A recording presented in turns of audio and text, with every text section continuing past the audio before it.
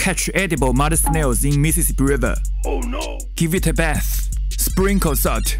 Let it sit for one hour. Rinse and drain. Make it drunk with Chinese liquor. Leave it alone.